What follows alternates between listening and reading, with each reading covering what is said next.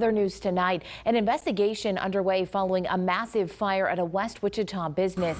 Uh, the call came in around 1045 last night near 37th and Northridge Road.